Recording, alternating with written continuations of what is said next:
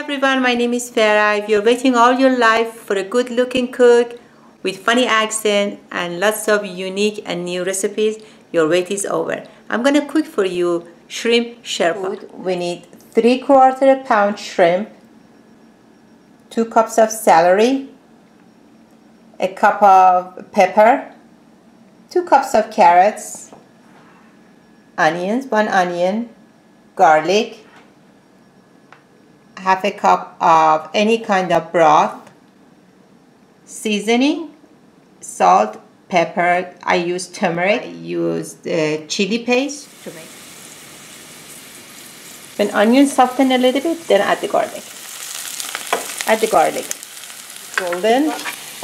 Add the shrimp. It is three quarter a pound of shrimp. You know, shrimp doesn't need to cook a long time. So I'm gonna take take this out. I'm gonna add my carrots because it's harder. It goes first. I'm gonna add my celery. I add my peppers. These are small peppers. I have pepper, turmeric, I have paprika and garlic powder. My paste, chili paste cookies. Okay, mix them.